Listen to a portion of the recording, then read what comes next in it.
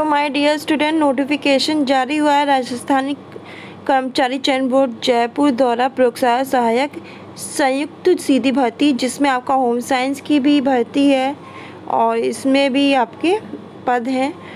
तो आपको दिखा देते हैं इन्फॉर्मेशन पूरी। होम साइंस के टोटल थर्टी नाइन पद हैं। और क्या क्वालिफ़िकेशन होनी चाहिए? तो होम साइंस के लिए किसी मान्यता प्राप्त बोर्ड से गृह विज्ञान विषय के साथ सीनियर सेकेंडरी या उसके समतुल परीक्षा और देवनागरी लिपि में लिखी गई हिंदी में कार्य करने का ज्ञान और राजस्थान की संस्कृति का ज्ञान होना चाहिए। फॉर्म आपके स्टार्ट हो गए हैं पच्चीस मार्च से और तेईस अप्रैल तक फॉर्म भरे जाएँगे। लास्ट डेट आपकी तेईस अप्रैल है।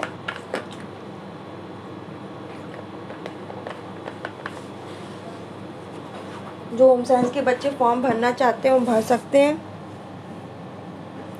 ये वेबसाइट है, इस वेबसाइट पे जाके आप पूरा फॉर्म देख सकते हो।